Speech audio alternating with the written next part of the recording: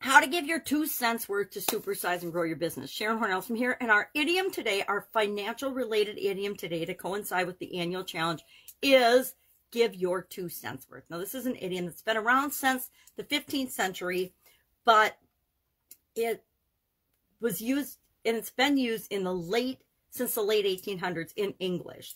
It wasn't until the mid 1920s that it came to mean that, your opinion wasn't worth very much. I forgot to, to share my two cents when I was starting out. Well, anyway, two cents comes from the British two pence or tuppence, meaning that back then things a lot of things cost two cents we're forgetting this was you know hundreds of years ago when two cents was the cost of a lot of things well it over time became to mean that hey your two cents worth isn't really worth very much so the value of an opinion became not very valuable because like a holes and other things everybody's got one but that doesn't mean everybody wants to hear it and certainly everybody doesn't want to see it uh, I don't know why I was thinking of that expression today. And then I was thinking of all the people that have been jerks in my life this morning. Uh, and that's not really that valuable to think about all the people that have, that have been, you know, we have had negative interactions with.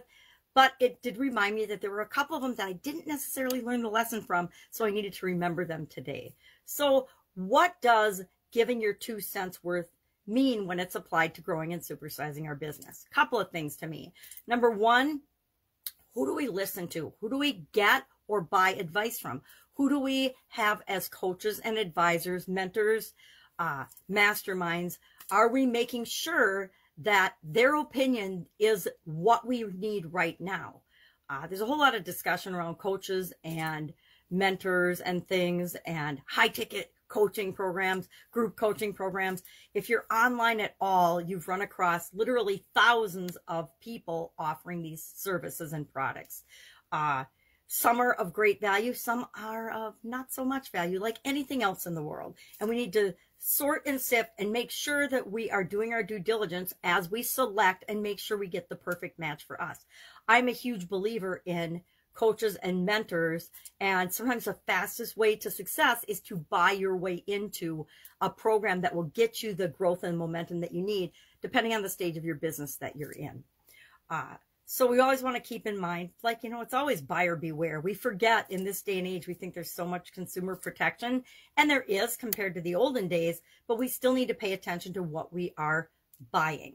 The other thing that this idiom reminds me of is and I saw an, an article the other day on LinkedIn about this. Somebody was complaining about um, not getting paid soon enough. They start a job and you wait either one or two or four weeks, depending on what the pay cycle is for the company that you work for before you get paid.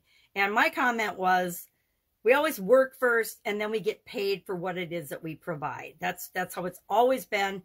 And that reminds us that we give value first and then we reap the rewards of providing that value after the fact. Well, it's, it's absolutely positively true in our businesses, especially as we're growing and supersizing our businesses.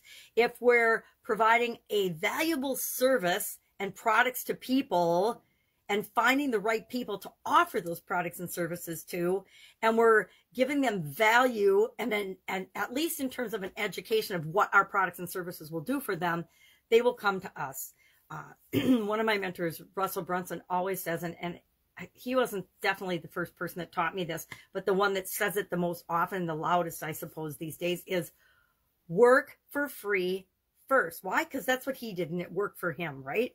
And if I think of all of the examples of me working for free with no expectation of anything in return.